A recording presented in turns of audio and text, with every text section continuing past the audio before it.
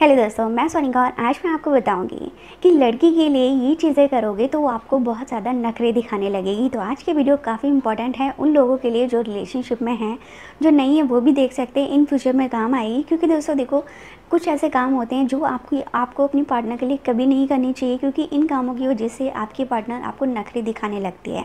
तो आज के वीडियो इसी टॉपिक पर है। तो दोस्तों, चैनल पे नए हो तो प्लीज़ चैनल को सब्सक्राइब कर लीजिए, साथ ही जो बेल आइकन है उसे ज़रूर दबा लीजिए, जिससे जब भी नई वीडियो अपलोड हो तो उसका नोटिफिकेशन आपको मिले तो आई वीडियो स्टार्ट करते हैं। तो सबसे पहला जो काम है वो है कॉम्प्रोमाइज़ करना या अपनी पार्टनर को स्पेशल फील करवाने के लिए एडजस्ट करना। जी हाँ दोस्तों, ये काम आपको कभी भी नहीं करना चाहिए क्योंकि अगर आप ये काम रेगुलर बेसिस पे करते रहते हो तो इससे आपकी पार्टनर आपकी वैल्यू करना कम कर देती है और वो आपको नखरे दिखाने लगती है। लाइक फॉर एग्जांपल के तौर पे कि आप एक ऑफ़िस में जॉब करते हो, आपके ऑफ़िस में एक प्रेजेंटेशन है और वो आपके लिए बहुत ज़्यादा इंपॉर्टेंट है। लेकिन उसी दिन आपकी पार्टनर ये बोलती है, उसे मूवी देखने जाना है।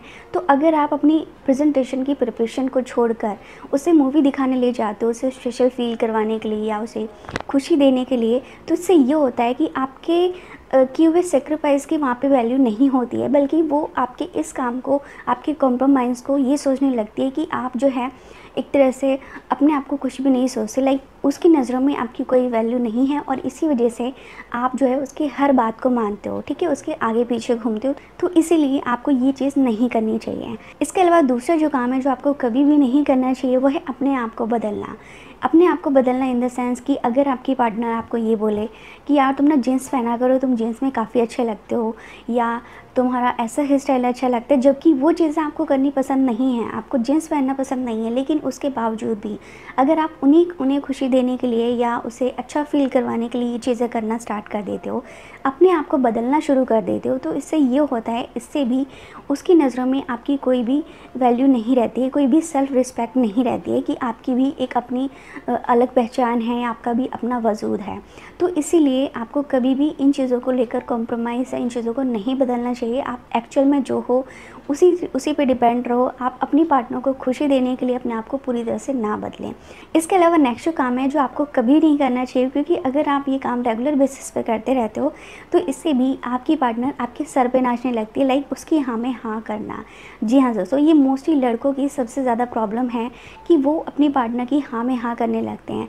लाइक अगर वो आप उनके हाँ में हाँ ना करो तो वो रूठ जाएँगी या उनके फिर आगे पीछे घूमे उन्हें मनाने के लिए।